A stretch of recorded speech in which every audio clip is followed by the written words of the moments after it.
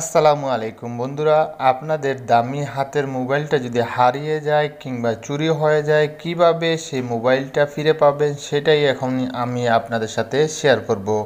ইউটিউবে এই নিয়ে অনেক ভিডিও রয়েছে, কীভাবে আপনার হারিয়ে যাওয়া এবং চুরি হওয়া মোবাইলটা ফিরে নিয়ে আসবেন।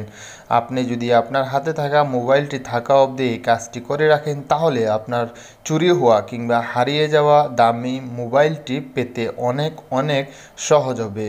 তো চলুন আমরা যে কাজটি করব সেটা এখন আমি আপনাদের সাথে শেয়ার করব।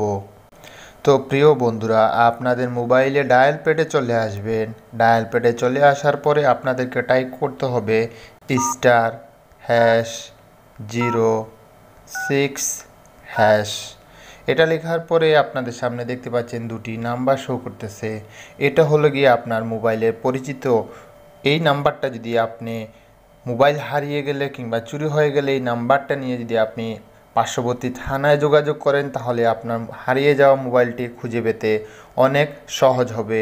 না হলে কিন্তু আপনার অনেক ঝামেলা হবে। সিম দিয়েও কিন্তু হারিয়ে যাওয়া মোবাইল ফিরিয়ে আনা যায়। কিন্তু এই আইএমই নাম্বারটা যদি থাকে, তাহলে আপনার নাম, মোবাইলটা খুঁজে পেতে অনেক অনেক সহযোগিতা করে। আরও অনেক ওয়ে রয়েছে গুগলের মাধ্যমে কিন্তু আপনি আপনার হারিয়ে যাওয়া মোবাইলটি ফিরিয়ে নিয়ে আসতে পারেন। যদি আপনাদের প্রয়োজন হয় আমাকে কমেন্টস করে জানাবেন, আমরা সেই বিষয়টাও আপনাদের সাথে শেয়ার করব।